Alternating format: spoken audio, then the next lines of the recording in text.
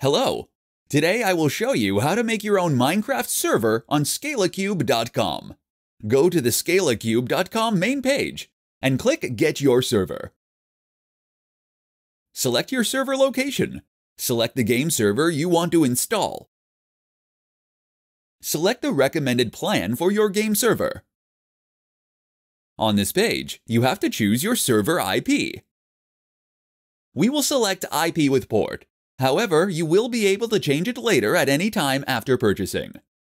Here you can select additional software to be installed on your server.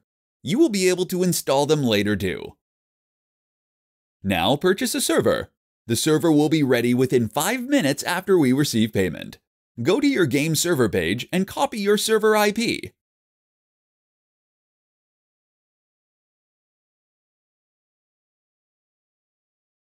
The game client for this mod pack can be installed via the Twitch app. It can be downloaded from its official website. Launch the game client.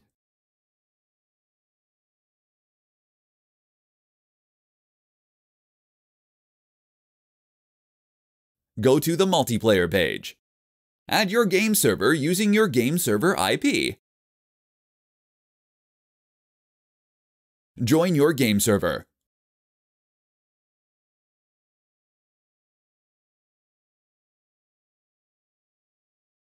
Thank you for watching this video.